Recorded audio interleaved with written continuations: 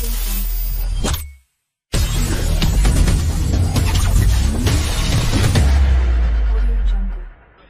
compañeros, buenas tardes. Daniel Galacio tiene el gusto de saludarlos en una nueva puesta en el aire de Una Sigue en este país, un espacio en donde pretendemos que la memoria no descanse.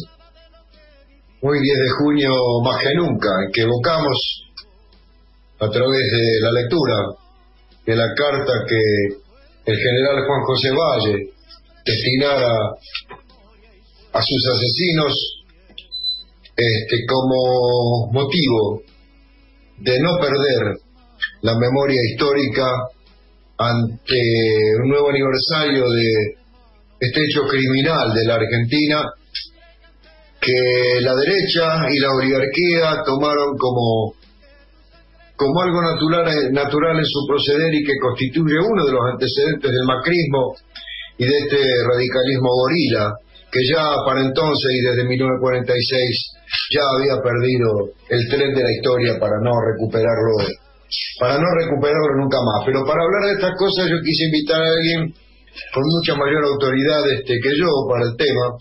Estoy hablando del compañero Roberto Basquetti, un historiador, quizás el mejor, de la resistencia peronista y del movimiento peronista en general. Roberto, eh, Daniel Galazo te saluda. ¿Cómo estás? Buenas tardes.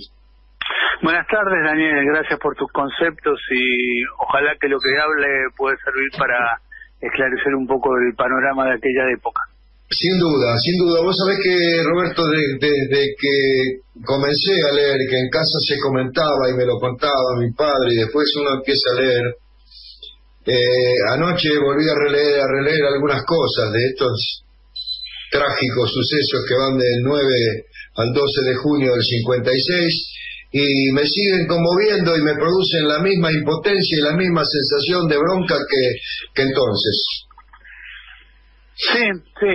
Eh, mirá, vamos a partir de una base que por ahí es difícil de demostrar prácticamente, pero pero desde los sentimientos y desde y desde lo que no sea racionalidad, este, yo me animo a decir que la oposición de hoy de Juntos por el Cambio, si nos podía fusilar, nos fusilaría, si nos podría bombardear, nos bombardearía, y si nos podría aniquilar, nos aniquilaría. Si no lo hacen es porque están dentro de un juego democrático que ellos no respetan, pero este que de alguna manera, eh, por el momento, no pueden sacar los pies del plato. Dicho esto, bueno, habría que remontarse a los hechos, como dijimos, se cumplieron 65 años, eh, fueron víctimas 31 civiles y militares peronistas, como vos bien dijiste, entre el 9 y el 12 de junio del 56, sin juicio previo o en caricaturas de juicio, que por el caso es lo mismo. Y fueron sus verdugos, obviamente, los complotados insurrectos del 16 de septiembre del 55, que en esa fecha derrocaron el gobierno constitucional de Perón, que había asumido la presidencia tres años antes, y hay que recordarle a los oyentes, con el 62,49% de los votos emitidos por lo que en elecciones eh, libres Perón era imbatible y la única manera de sacarlo era por ese golpe cívico-militar que además en este caso concreto, y no va a ser el único, también tuvo el apoyo de la jerarquía eclesiástica. Este, sí, te escucho. No, no, no, no, no, perdón, no, no, no. Ah, bien, bien.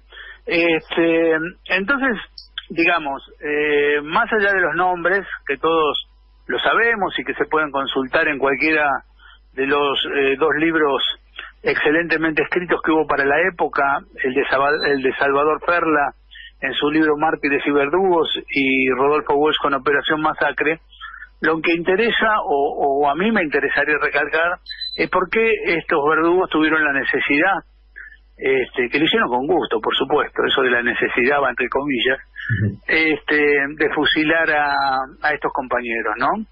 Y basta con decir que los fusilamientos fueron aberrantes desde un punto de vista jurídico, como te decía. Alcanza con recordar el espanto que produjeron.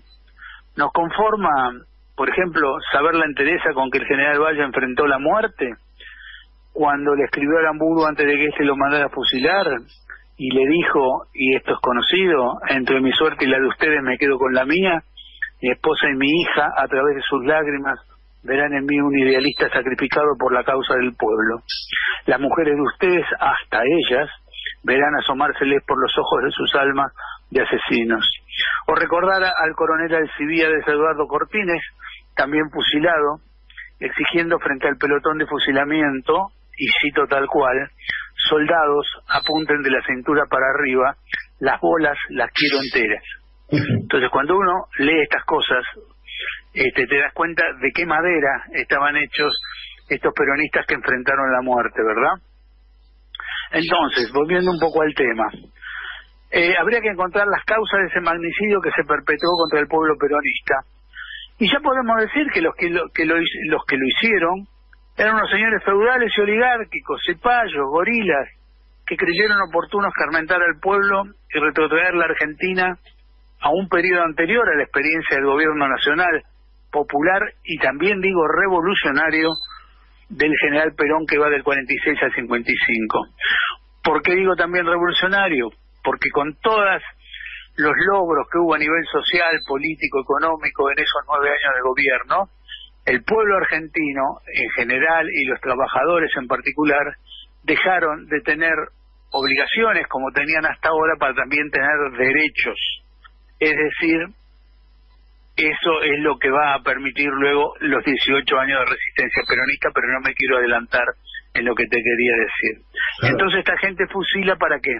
Para volver a la Argentina de la década infame, que es el periodo histórico inmediatamente anterior a esos nueve años de bonanza y felicidad para el pueblo argentino.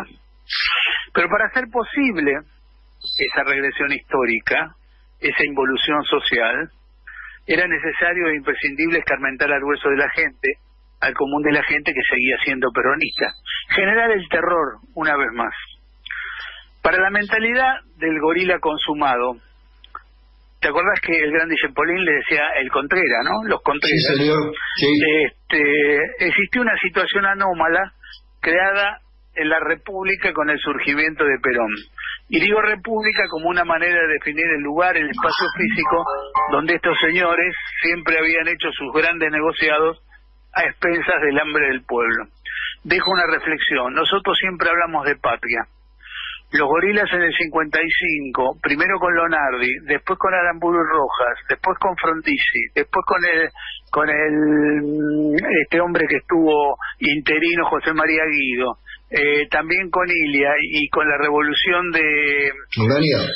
de Onganía en el 66 y después este con la última revolución eh, golpe militar cívico militar ellos hablan de república nosotros hablamos de patria bueno también se apropian de las palabras no tengas duda no tengas duda pensaba perdóname que te interrumpa pensaba en esa eh, quizás apelando hago una comparación este, liviana si se quiere, pero nada más que en cuanto a las palabras y al título. Pensaba en la, en, la novela de Andrés Rivera, ¿no? La revolución es un sueño eterno. Es cierto, sí, sí. Y, ¿sabes qué? Invertí para esta gente el, el volver el volver antes del 43 es el sueño eterno permanente que, en, la etapa de los, de, los hechos que estamos este, trayendo de nuevo al presente, costó 31 vidas y que no trepidaron en que eh, 20 años después costara 30.000 vidas. Y el día de mañana, si lo tienen que hacer y cuesta 100.000, lo van a tratar de hacer, como decís vos. Sí, totalmente, no hay ninguna duda. Y fíjate que ahora, ¿quién es la mayor eh, defensora de la, entre comillas, república que lo dice cada vez que puede, Elisa Carrió. No hay casualidades. Bueno, vuelvo al tema. Como te decía, para la mentalidad del gorila consumado de ese Contrera, existía una situación anómala creada en la República, que también definimos que se entendía por República, mm. con el surgimiento de Perón. Siempre, según ellos, la solución era fácil, lineal, podría decirse que se daba por su propio peso. Solamente había que derrocar a Perón, y automáticamente la gente que lo seguía, ellos pensaban, debido a las prebendas que éste entregaría y entregaba, pan dulce, sidra, pelotas de fútbol, máquinas de coser, etcétera, etcétera, se disolvería ese apoyo a Perón y Perón pasaría a ser un mal recuerdo y algo irrepetible para el normal desenvolvimiento de las instituciones que ellos llamaban democráticas. En criollo se dice, muerto el perro se acabó la rabia. Hasta allí, hasta allí de alguna manera esa teoría infantil, si se quiere, de estas personas a las cuales el desarrollo de los acontecimientos le iba a demostrar otra realidad totalmente distinta. Fíjate eh, cómo sería la mente de ellos que pensaron, y esto creo que lo sabemos todos, el, yo que hablo, vos que escuchás, y tus radio oyentes, que hicieron el decreto ley 4161 porque ofendía el sentir democrático del pueblo argentino, así se define, y no se podía, sabemos, no se podía nombrar a Perón, viste cantar la marcha peronista, etcétera. Eran tan bestias que se pensaban que por decreto lo podían sacar a Perón del corazón de la gente. Bueno, como te digo, los hechos le iban a demostrar otra realidad. El pueblo seguía siendo peronista porque, como dije, con Perón había tenido acceso por primera vez en la historia de la Argentina, nada menos que a salud, trabajo, educación y bienestar, a sentirse digno y protagonista de su presente. De ahí ese presente de barbarie, de fusilar y matar a mansalva, creyendo que de esta manera este, podían este, reformar la historia o de alguna manera hacerse dueños de esa historia. Y los hechos, fíjate que le demostraron que no, porque muchos de, yo tengo 71 años, muchos de los, cuando éramos pibes, muchos de nuestra generación entraron a militar, yo no porque venía de una familia cuasi entera peronista, pero muchos que no tenían familias peronistas empezaron a militar después de la Operación Masacre cuando no esa barbarie. Y fíjate que la generación posterior a la nuestra, con los casos parecidos de familias no peronistas, los pibes empezaron a, militar después de leer la matanza de Trelew de Pacurondo. O sea que estos tipos cada vez que asesinan y matan, lo que hacen es generar un, un nuevo alud de militantes peleando por una lucha patria, por una patria justa, libre y soberana. Sí, señor. ¿Eh? No es casual, no es casual. El otro día me invitaron a dar una charla y yo quise rescatar en la charla a un patriota, para mí latinoamericano, poco citado, como lo fue Jacobo Arbenz, sí, en Guatemala. Sí, señor. Quiero preguntar, yo te quería preguntar a vos, eh, los eh, quienes bombardearon la Plaza de Mayo el 16 de junio del 55, sí. Eh, ¿habrán tenido en cuenta este esto que un año antes, en el 54, se había dado en la ciudad capital de Guatemala respecto al bombardeo para llevarla a cabo en Buenos Aires, más allá de que conozcamos la locura de que a alguien se le ocurrió después de leer un libro sobre Pearl Harbor y demás, como fue alguno de los de los criminales gorilas de la Marina. ¿Qué pensás? Mira, eh, no, lo que yo te puedo decir no se va más, no va más allá del pensamiento con algunos datos históricos que este, son irrefutables. Este, cuando eh, Perón gobernaba, digamos, eh, y antes de Perón, ya había imperialismo en Argentina y había colonialismo en Argentina. Para poner nombres propios, el colonialismo era un colonialismo que se estaba yendo desvencijado después de la Segunda Guerra Mundial, que era Inglaterra, y un imperialismo fuerte que surgía que eran los Estados Unidos de Norteamérica.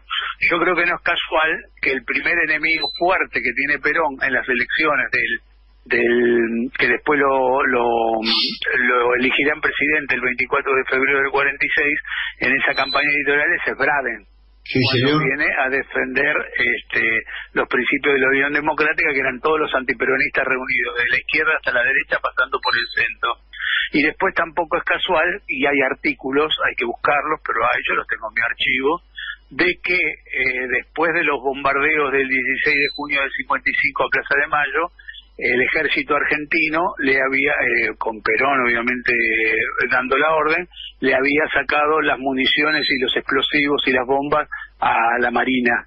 Sin embargo, los aviones que de aeronáutica y de marina que bombardearon Plaza de Mayo, lo que les sobraban eran bombas. Bueno, hay eh, artículos de que en algún lugar del Río de la Plata, este eh, barco, un barco inglés este, acercó las espoletas necesarias para esas bombas.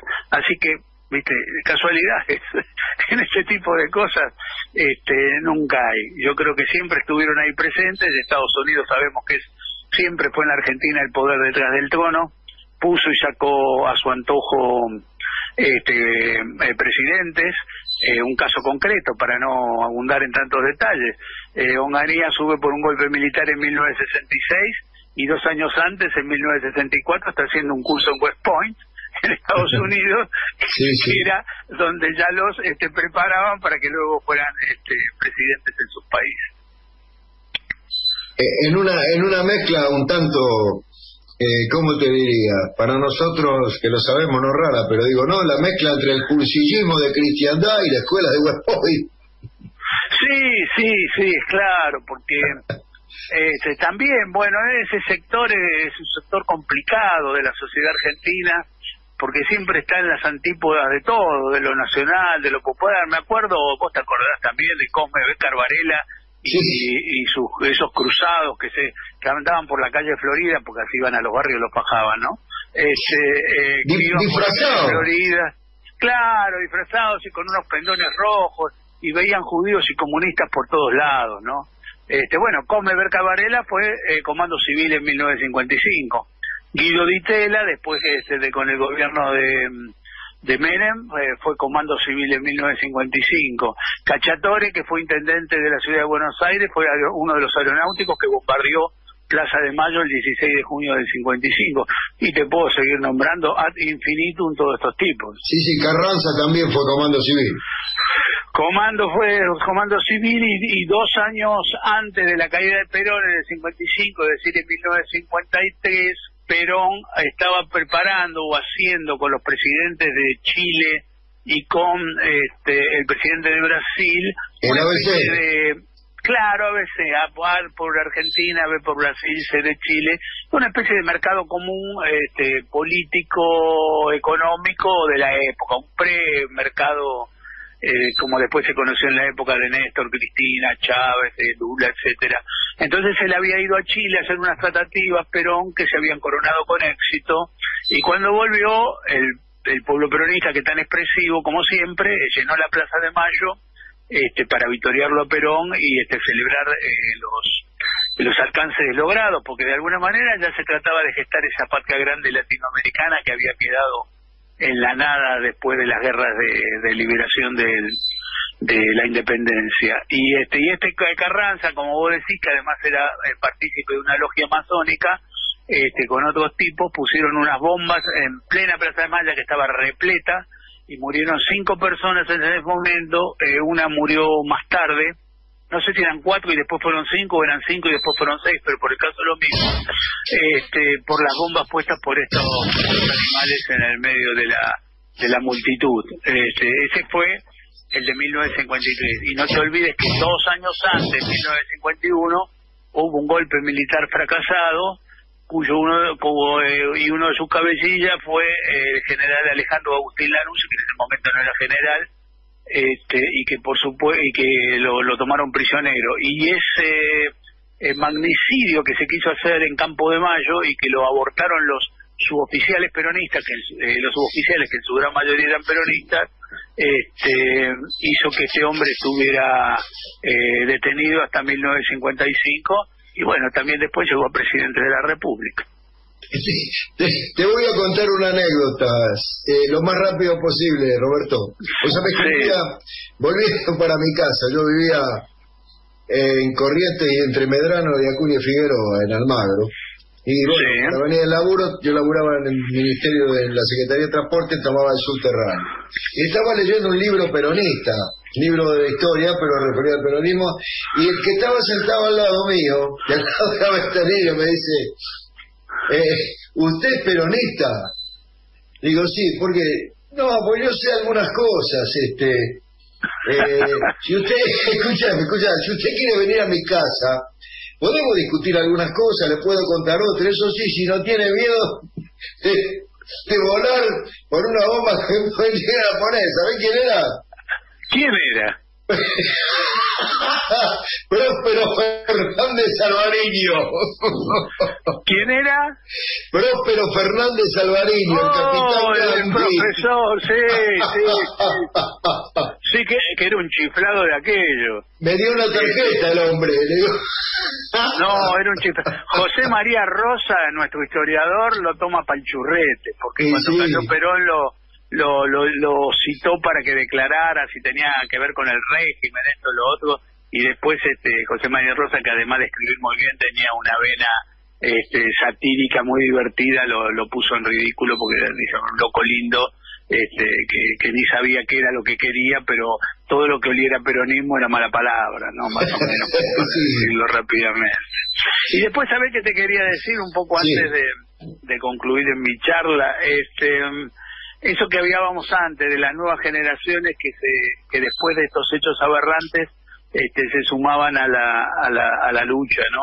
Este, estoy pensando en esa eh, hermosa eh, juventud maravillosa, como la, la denominó Perón en algún momento, con, con esa campaña de lucha y vuelve, porque hay que decirlo, que si no era por esa juventud peronista y por los sectores radicalizados del peronismo, este, Perón se moría en una cama en España de viejo este, pero la lucha que, que hizo ese pueblo con la juventud al frente hizo que los militares, este, como la NUCE, que, era, que para eso era inteligente, se dieron cuenta que el mal menor era que este, Perón volviera a la Argentina ya como estaba, este, eh, anciano, la prueba está que un año después ya falleció, enfermo, etcétera.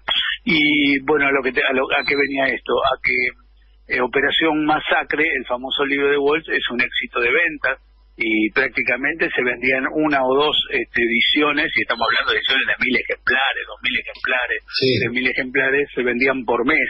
Entonces Walsh, este, siempre inquieto, este, cambiaba el prólogo, o sea, lo, lo adaptaba un poco a las circunstancias, el prólogo del libro, a lo que se estaba viviendo en ese momento.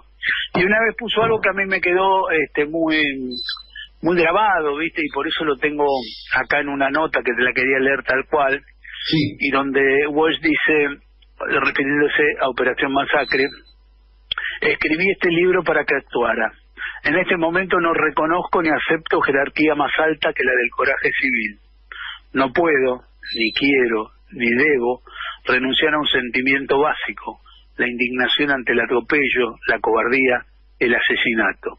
Este caso, o sea, Operación Masacre, más la masacre en sí, está de pie resuelto a impedir para siempre que un militarote prepotente juegue con la vida de la gente mansa. Solo un débil mental puede no desear la paz, pero la paz no es aceptable a cualquier precio. Y es hermoso, mira, yo leo eso y son las palabras justas, ni una palabra de más ni una palabra de menos. No le sobra ni le falta nada, exactamente. No, es, brillante, brillante, Y respecto del, yendo al movimiento en sí, del 9 de junio, gran parte sabía que esto estaba infiltrado y que estaba y que era conocido por los servicios de inteligencia. ¿A qué atribuís este vos, Roberto, el hecho de querer seguir adelante, aún conociendo que esto ya estaba infiltrado y que los dejaron actuar? Como, Mira, en La Plata, ¿no? Sí, sí, sí, en La Plata, exactamente, y también en Campo de Mayo, en el caso... También en Campo de Mayo, sí. En Campo de Mayo, sí. Este, había un general que por ahí tengo anotado el nombre, te, aseguro que, que, ahora no me lo acuerdo porque si no lo diría porque hay que mandarlo al frente con, con, con pitos y matracas, pero eh, uno de los complotados este, había entrado esa noche, digamos, con, con los demás. no, y se fue, Verasay. Sí. el coronel Verasay se fue. Bueno, dijo voy a hablar por teléfono, sí. por teléfono público y no volvió nunca más. Si se asustó, bueno, no habla muy bien de un general de la, del ejército argentino. Y si él estaba en la, en la entrega, bueno, peor todavía, ya ni hablemos de eso, ¿no? Este, bueno, yo creo que, volviendo a tu pregunta, este, ya la cosa estaba tan avanzada y estaba la gente tan comprometida que era imposible este, volver atrás, porque lo que iba a ocurrir iba a ser que a alguno, a alguno le llegara este, la orden de parar todo y a otros no, y, bueno, eso iba a ser peor que ir todos y bueno, vemos qué pasa, ¿no? Ahí hay un personaje nefasto que, digamos, por lo menos después, cuando se decide hacer justicia por mano popular, yo no sé si vivió o no, pero que fue eh, Desiderio Fernández Suárez, fue un verdadero criminal. Sí, claro, claro, claro. Jefe de policía, este, y estaba ahí en la, en la comisaría de Lanús, de Avellanero de Lanús, ahora no recuerdo, este, que es el, de donde salen la, la gente del, del grupo de Troxler, Libraga y demás, y los matan en un descampado ahí en, un basural, había en ese momento en José León Suárez. Bueno, él estuvo al frente de eso. Sí, sí, sin duda que eh, hay, hay diálogos que son que son imperdibles, ¿no? Respecto de la intransigencia de estos criminales por llevar adelante llevar adelante los, el genocidio, eh, los fusilamientos, aún este, sabiendo que la orden de ley marcial es posterior a los hechos, ¿no?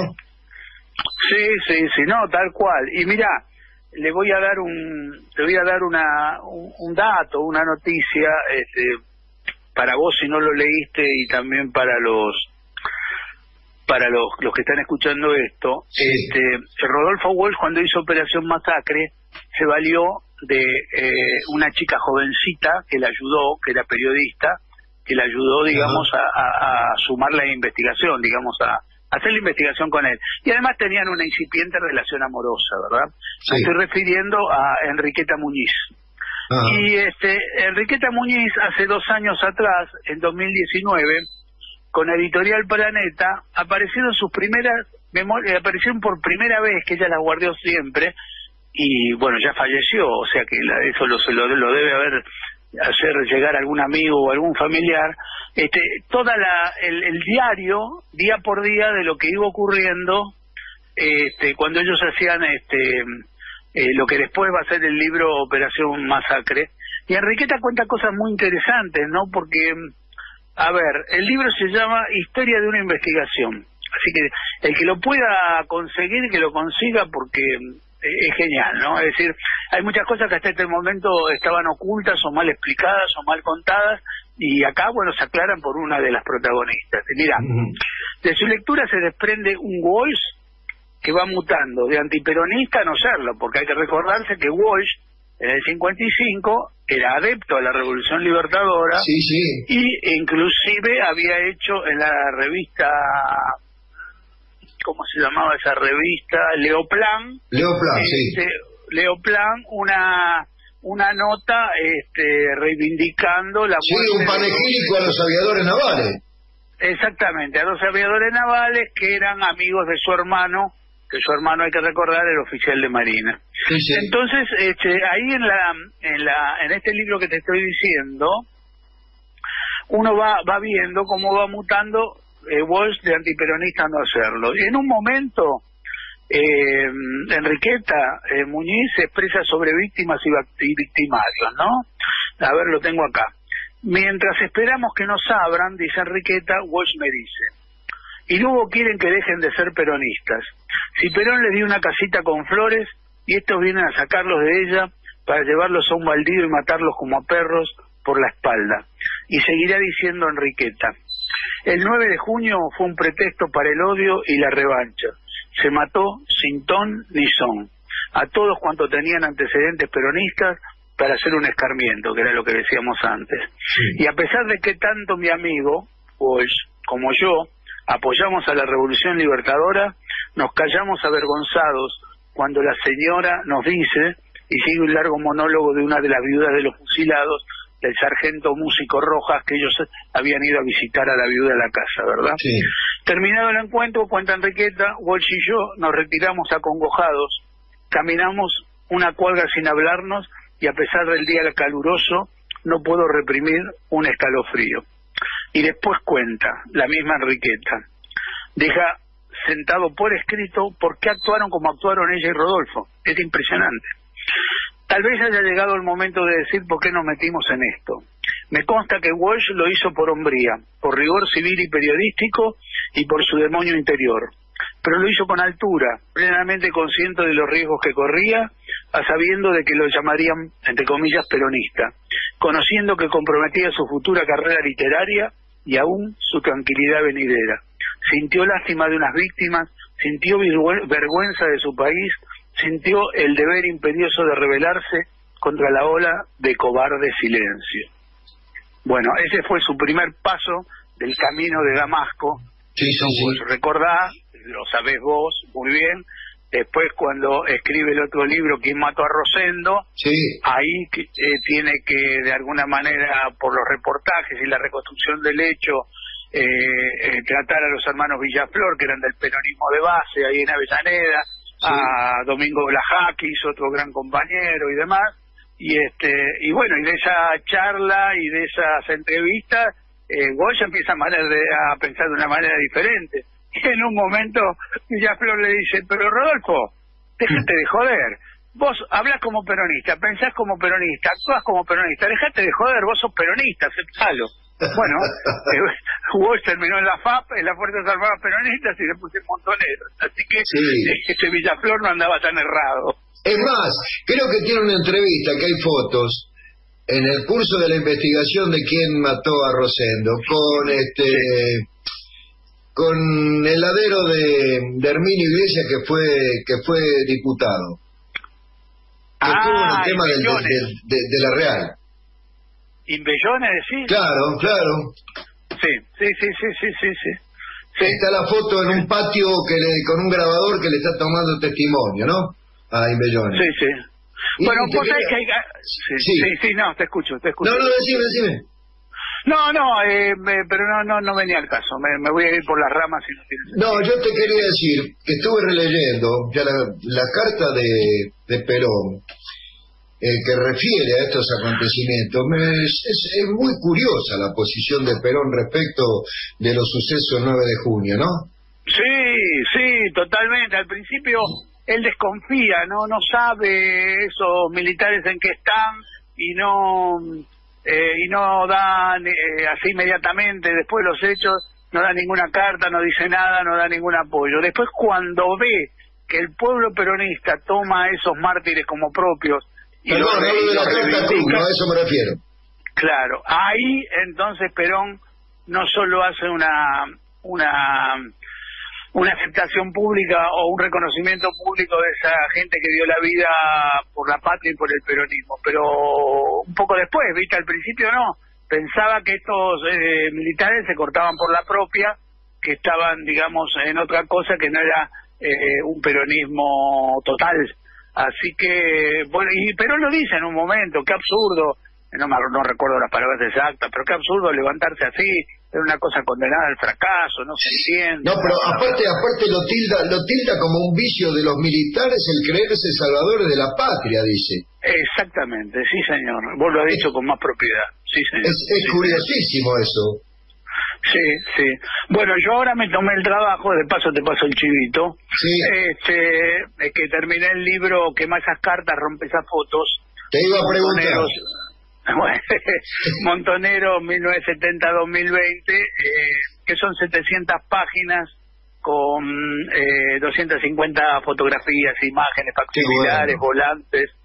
Y este, para llegar a contar esa historia de Montonero, tengo que contar esa prehistoria, es decir, eh, contar que los montoneros en 1970, cuando aparece y se lo carga el Aramburu, no es el principio de la violencia política en la Argentina, como nos quieren hacer creer Para periodistas o historiadores este, que sabemos muy bien a qué intereses responden, sino que Montoneros es la consecuencia obligada de una violencia que está viniendo, mira, nos remontamos a 1951, 1953, 55, 56, 59 con el plan Conintes y podemos seguir hasta, hasta el golpe de de Onganía. Entonces, bueno, ahí está eh, todo documentado. Y ahí precisamente hay un capítulo con se recupere con las cartas de la gran mayoría de los fusilados en el 56 que o escribieron a sus familiares antes de, del hecho, este, explicando por qué iban a tomar las armas contra un gobierno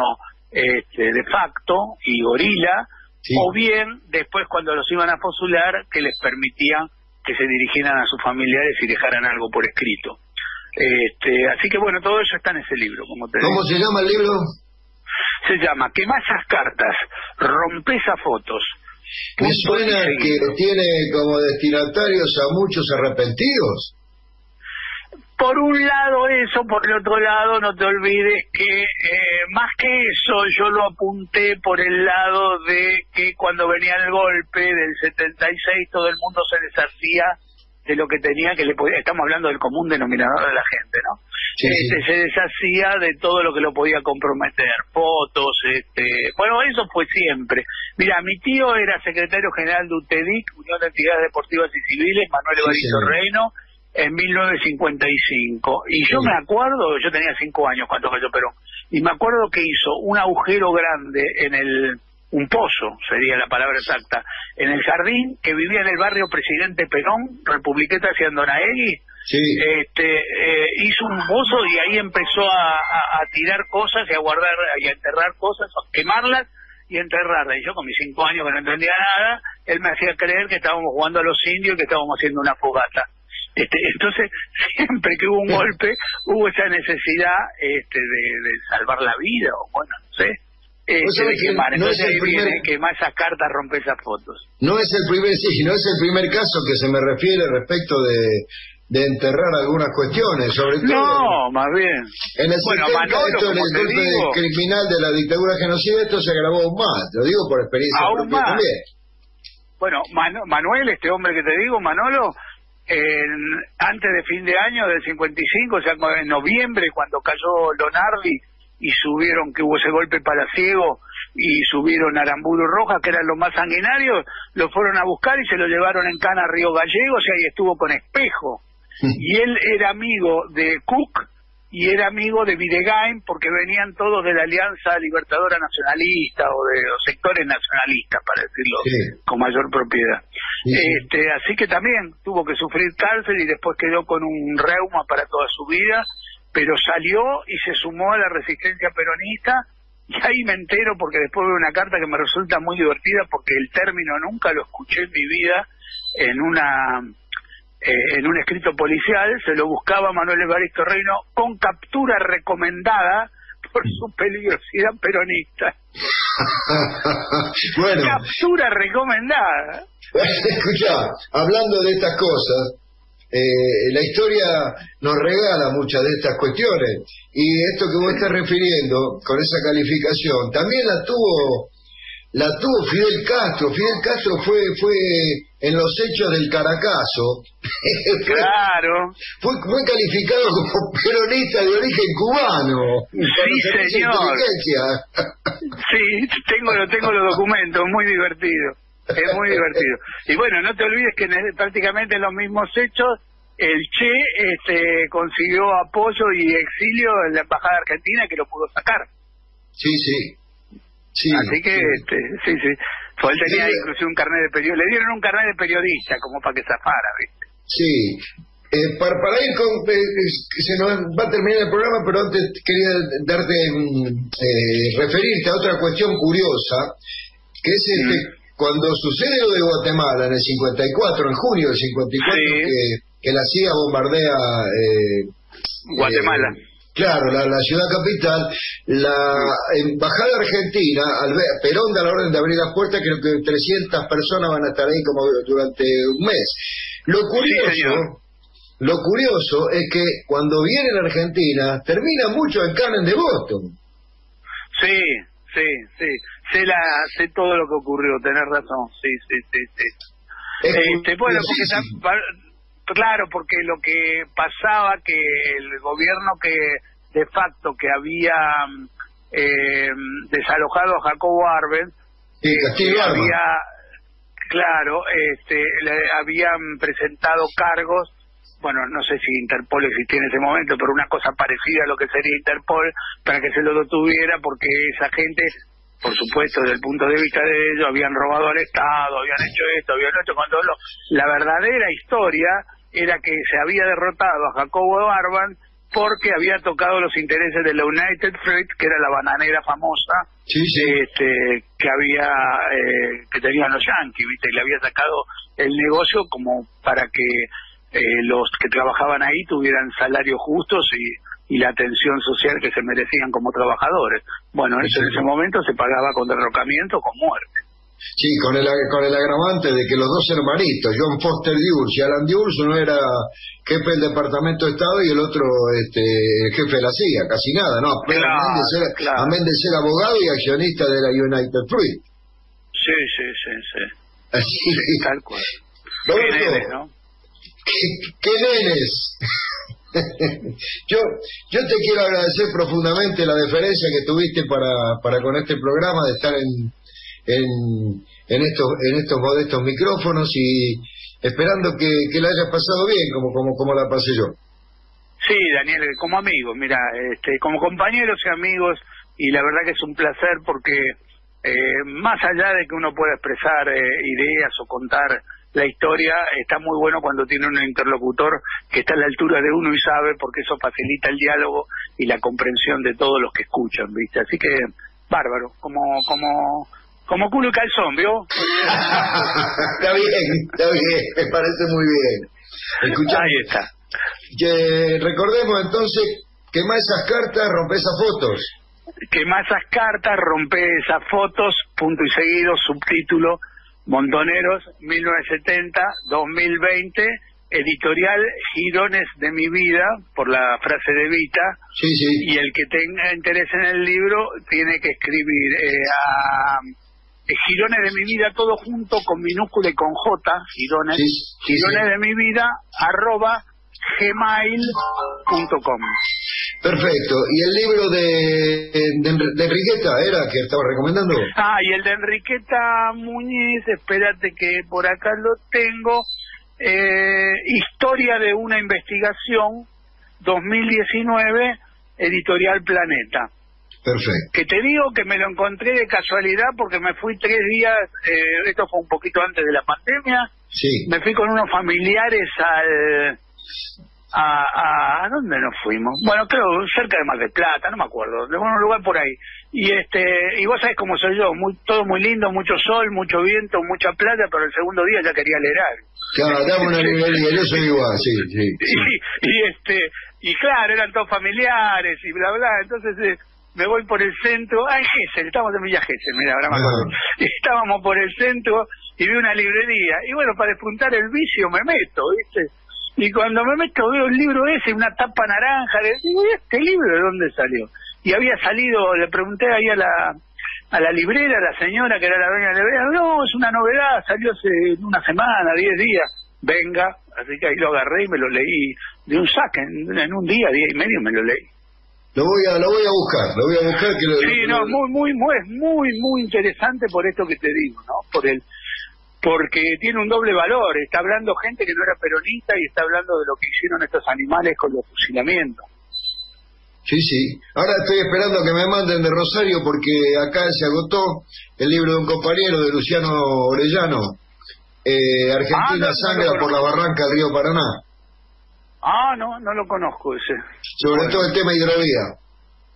Ah, bien, bien, bien, bien. Estaba esperando ese porque tuve la suerte que también salió en estos micrófonos, estuvimos hablando y bueno, eh, yo también estoy formando parte como con un colectivo dentro de, con otras agrupaciones más por recuperar este las soberanías en el Paraná, ¿no? Con este tema. No, total, total. Mira, ayer firmé una solicitada eh, precisamente sobre el tema del Paraná este, para que lo recupere el Estado Nacional. Ayer lo firmé. Claro, claro. Sí, sí, sí, sí, sí. Así que este, te voy a, te mando un abrazo grande, se me termina el programa, Roberto, la seguimos. Dale, querido. yo me, me quedaría ¿Cómo no?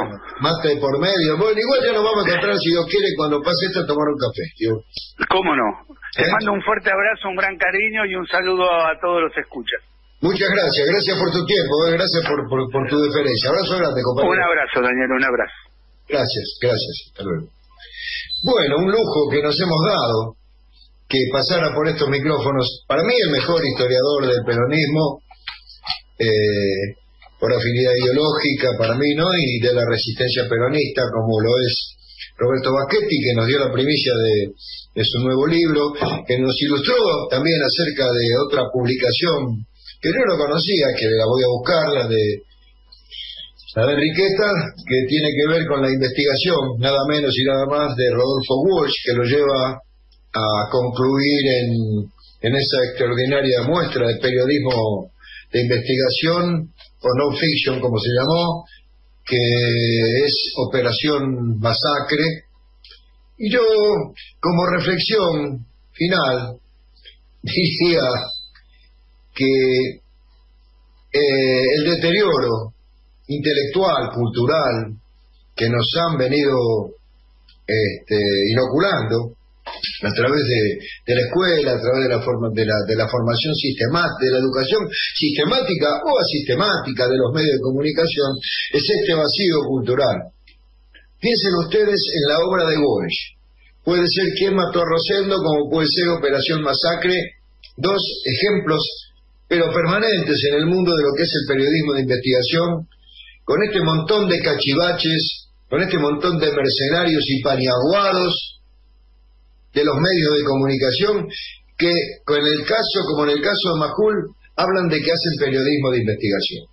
Bueno, eso es una, es una falta de respeto a la honestidad intelectual y a la inteligencia de los argentinos, que prohija justamente, que prohija justamente eh, el sector de la sociedad que lo único que pretende es valerse de estos, de estos traidores y, y payos mercenarios para que ellos, a través de su accionar, conjuntamente con el parte del Poder Judicial y con el Poder Económico, a lo único que apuntan es a seguir acrecentando su tasa de ganancia y no a otra cosa.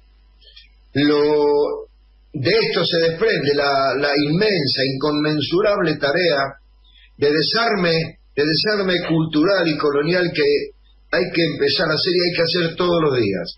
Yo creo que en un país que está colonizado como el nuestro, en un país donde tiene todavía un enorme porcentaje de colonización cultural, la obra descolonizadora, de parte al menos nuestra, los que estamos de este lado de la vereda y sabemos a qué apuntamos, tiene que ser permanente hasta en los actos más nimios de nuestra vida. Es, una, es un compromiso total que se debe asumir, no ya como militante, sino como argentino. Es decir, acá está en juego a través de todo lo que estoy diciendo el interés de una nación, el interés nacional que hoy está bastardeado, puesto de rodillas, puesto de rodillas y subordinado a los intereses de 100 familias que se arrogan, como decíamos con Baschetti, que se arrogan cada vez que pueden este, el derecho de retrotraer a nuestro país a la etapa preperonista, esto es, hasta antes del 43,